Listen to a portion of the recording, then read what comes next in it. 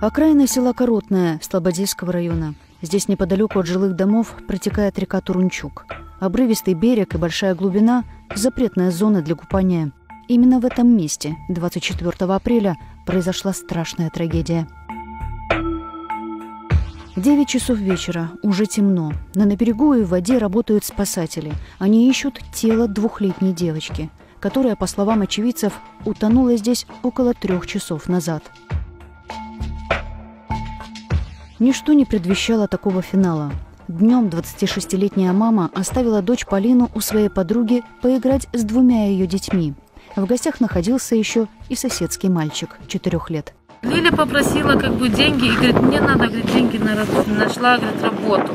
Я говорю, ну принеси ее ко мне, говорю, как раз я до 12 на работе, говорю, после 12, говорю, можешь принести ее, говорит, я посижу с ней.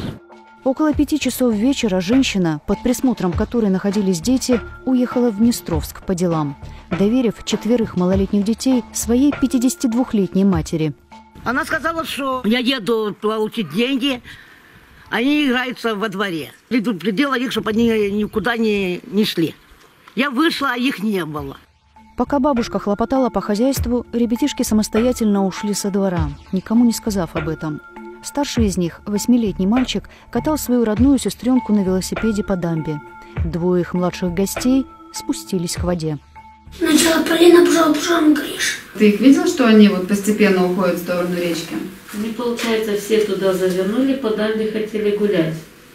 И Полина побежала первая вниз, с дамбы вниз на речку, туда на поляну, и Гриша побежал за ней. Потом я пошел туда, вниз, а Гриша там сидел, Полина сидела в воде. Игра Полины и Гриши обернулась трагедией. Не удержавшись на берегу, девочка упала в воду. В силу своего возраста мальчишки просто не могли ей помочь. Испугавшись, ребята вернулись домой и ничего не сказали старшим, которые и не подозревали о случившемся. Они трое были там за сарай. А потом, когда пришла и спросила и Никиту, где Полина? А он сказал, я не знаю, где она. А я пошла потом с ними вниз там смотреть. Искала и не нашла. На речку они ходили еще до этого сами? Нет, Никогда сам. никогда они сами не ходили. А со вся- взрослыми ходили на речку? Ну, со взрослыми, да. То есть как дойти туда, они С знают? нами, да. Пропавшую девочку взрослые искали по селу больше часа.